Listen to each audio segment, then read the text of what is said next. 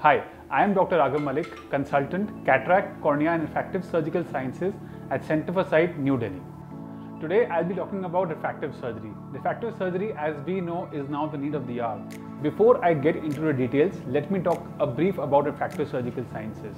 There are two basic types of refractive surgery that we are following.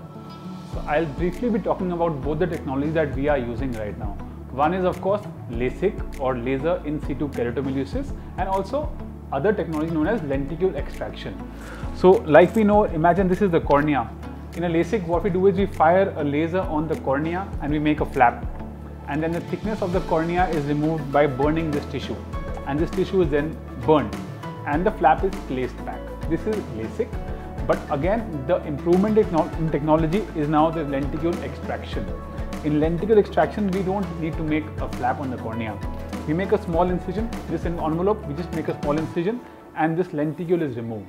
So today I'll be talking about lenticule extraction. So what this machine is providing is that the laser shots that this machine is giving, they are ultra fast, very short energy and very precise. So the laser beam is focusing on the tissue for a very short duration and a short pulse of energy is given in a really short duration of time. Because of that, we are getting tissue and adhesion-free lenticules or adhesion-free cuts in the cornea. Imagine these are small indentations caused by the IFS or any older generation laser.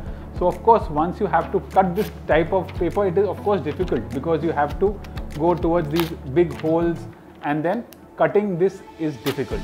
But in a sense, what the ELITA is giving us is very short bursts of energy and once these short bursts of energy are placed very close together, cutting the tissue is like butter.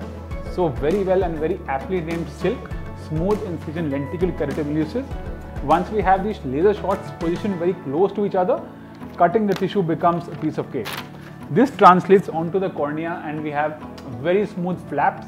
The flaps can be dissected very smoothly in a single swipe, of course, because of the pattern in which the laser is cutting. And of course, in silk, the lenticules are made very, very smooth. They are almost free floating.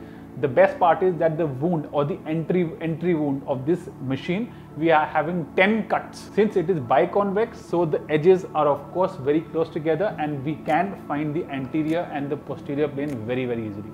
And once you are inside the anterior and posterior plane respectively, yes, cutting the lenticule or dissecting is, is very, very easy.